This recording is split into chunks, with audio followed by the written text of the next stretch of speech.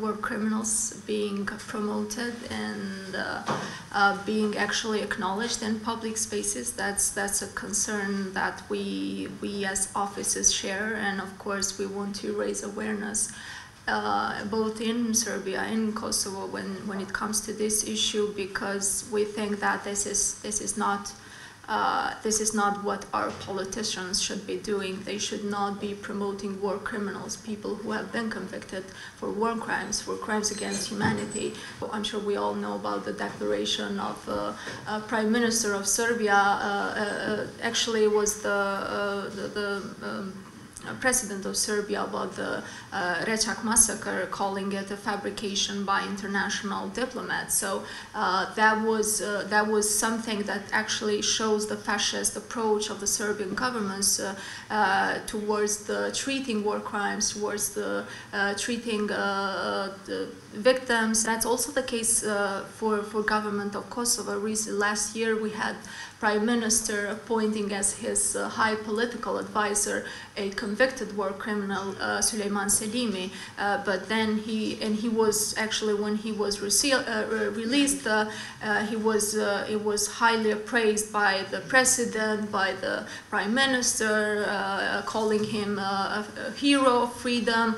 And we as activists, both in Serbia and Kosovo, when, when we see such actions happening, we go out in the public squares and, and we send out statements and we don't want to uh, these these people, these war criminals, to be uh, appraised as uh, as heroes. I can I can spe speak mostly from from my perspective as as a Serbian citizen and living in Belgrade.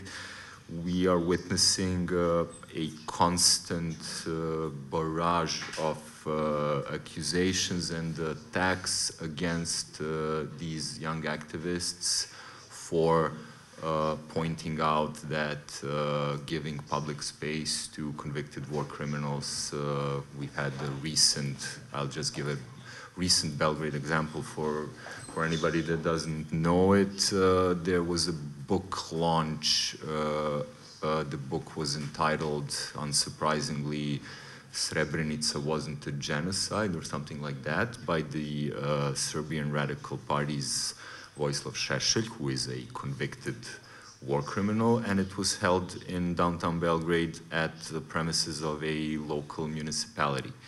Uh, without any consequences, and this uh, this man is a uh, member of parliament. Destructive process happening in the dark somehow has moved to Belgrade. So this pressure against freedom of media, in my, I mean, me now as an outsider, looking on what is happening on this Serbia media landscape as an outsider.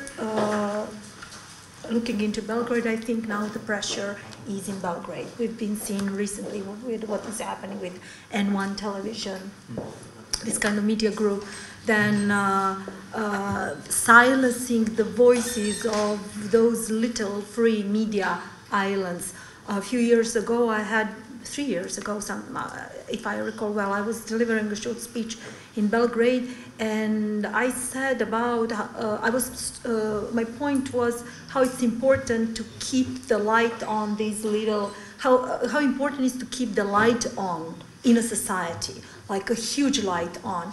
And what, is, what was bringing the light, uh, as I said, were little islands of freedoms. And I was talking about how it's important that those little islands of freedom continue to live and connect themselves. Being affiliated also to the Green Party um, uh, and, and talking about this topic, you can imagine that there's also a lot of um, yeah, interest and internal um, facing the past to, to be done because uh, the uh, 1999 decision by the then freshly elected uh, Social Democrat Green government to, um, to be a part of the uh, in intervention in the former Yugoslavia was a very uh, difficult one and one that, that almost split the party and led to a very um, um, difficult debates uh, because the Green Party is a party that um, that grew from, uh, amongst others, the pacifist and peace uh, movement um, in the in the 1980s and and before that.